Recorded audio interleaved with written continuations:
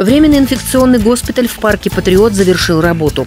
Медицинскую помощь здесь получили 6657 пациентов. Заместитель главы Одинцовского округа Олег Дмитриев рассказал, что медучреждение перестало принимать больных с 1 февраля. Напомним, 4 февраля губернатор Московской области Андрей Воробьев заявил, что в регионе с превышением плана сворачивают ковидные койки, чтобы максимально сконцентрироваться на плановой медпомощи.